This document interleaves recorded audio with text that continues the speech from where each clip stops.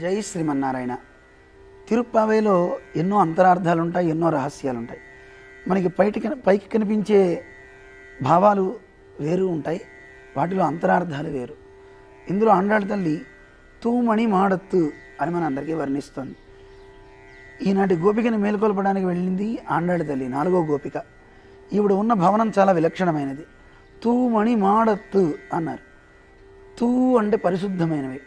పరిశుద్ధమైనటువంటి మణులతో కూర్చున్నటువంటి భవన అంట అంటే పరిశుద్ధమైనది ఒకటి నిర్మలమైనది ఒకటి తూమణి పరిశుద్ధమైన భవనంలో పడుకుని నిద్రిస్తోంది ఈ గోపిక. అందులోనూ ఎలాంటిదిట? మేనత్త కూతురే అందుకే పిలుస్తున్నారు. మామీర్ అవళై ఎజుప్పీరో అంటున్నారు. మేము లేపినా లేవట్లేదు నువ్వన్నా లేపొచ్చు కదా?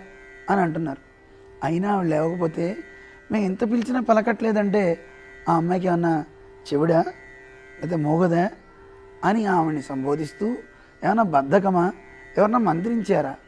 అయ్యో పరమాత్మ నామాలు బోళ్ళని ఉన్నాయి కదా. ఆ నామాలు నామం పలవున్న విన్ను ఇన్ని నామాలు చెప్తున్నా ఎందుకు ఆవిడ చెప్ చేయడం లేదు? ఎందుకు మేల్కోవట్లేదు? అని భగవంతుని నామాలు చెప్తే మనందరిలో సత్త పెరుగుతుందండి. అందుకే చూడండి మనందరం కూడా భగవన్నామాన్ని ఎంత చెప్తామో అంత దోషాలు తొలగిపోతాయంటారు ఆ నామాలు చెప్పాలి.